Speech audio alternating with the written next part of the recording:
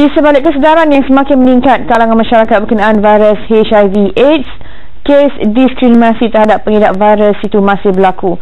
Laporan mitigasi berkenaan HIV dan hak asasi 2013 yang dilancarkan Majlis AIDS Malaysia MAC mendedahkan sejumlah 17 kes diskriminasi dilaporkan tahun lalu.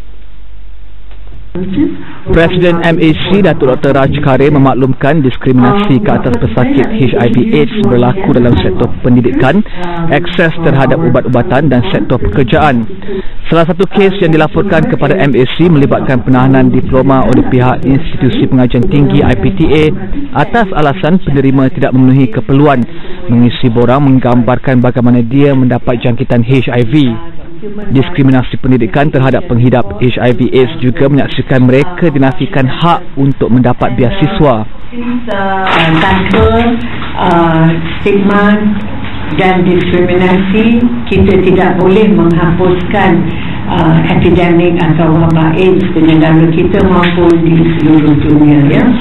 Menurut Dr. Raj, kes yang direkodkan hanya mereka yang tampil membuat aduan dan beliau tidak menolak kemungkinan bilangan kes diskriminasi sebenarnya lebih tinggi.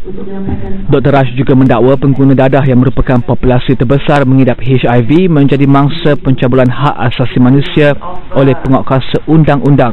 Sehubungan itu, Dr. Raj menegaskan MSC kekal komited untuk mengatasi isu diskriminasi serta halangan kepada pesakit HIV untuk mendapat akses kepada rawatan antiretroviral, khidmat kesihatan awam dan lain-lain.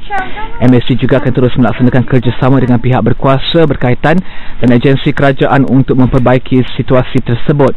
Pada majlis pelancaran itu, MSC turut melancarkan kempen Support Don't Punish satu inisiatif global untuk meningkatkan kesedaran berhubung kesan tindakan menjenayahkan mereka yang menggunakan dadah dan mempromosikan pendekatan lebih mesra dan berkesan berdasarkan aspek kesihatan awam dan hak asasi manusia.